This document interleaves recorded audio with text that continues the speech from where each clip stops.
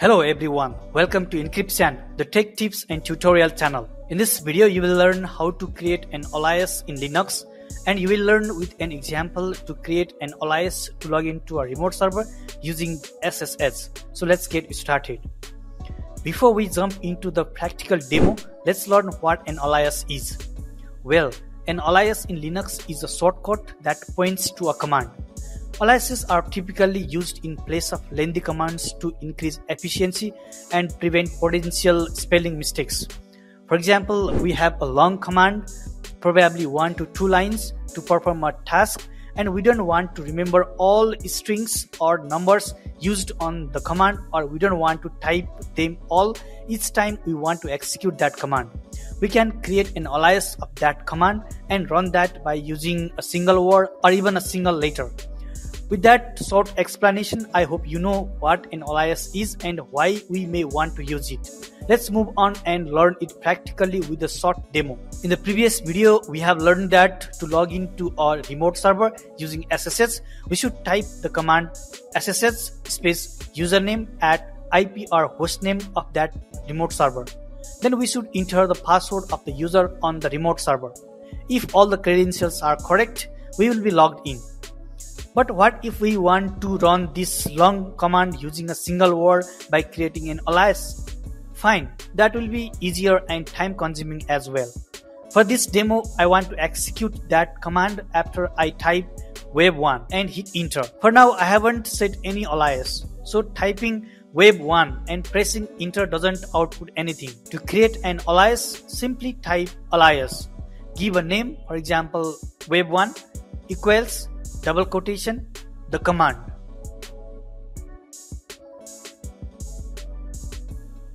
then the double quotation close and hit enter the alias to log into a remote server using SSH is now created. To see it on the list of aliases on the system, type alias and hit enter. Here we can see it. To verify if the alias works, type the alias name and hit enter. As you can see, the alias is working. The command is executed successfully and it's asking for the password. If you type the correct password and hit enter, you will be logged into the remote server. However, the alias that you create on the bash terminal is temporary. That is, uh, it will work until you are logged into the current session. If you log out or close the terminal and start the new session on a new terminal or new tab, the alias won't work. As you can see, web 1 doesn't output anything. Also, if you type alias and hit enter, you don't see the alias on the list. Don't be afraid of configuring and losing aliases in Linux because we can configure permanent aliases as well. So let's move on and learn about how to create an alias that remains intact even if you log out of the current session or reboot your PC. For this, uh, we will need to append the alias on a file named .bashrc which is in the home directory of a user. To check if the file exists on the home directory of the currently logged on user, you can type ls space hyphen al tilde slash pipe grep bash. We can see the file exists in the required location. Next, let's open the file with a text editor such as Vim and append the alias. If the Vim command is not found, we can install it using sudo apt install vim.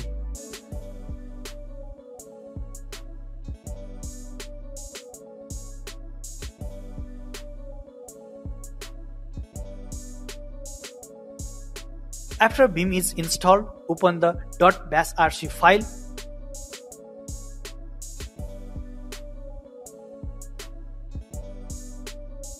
Press I to switch the Vim editor to editing mode and append the alias somewhere on the file.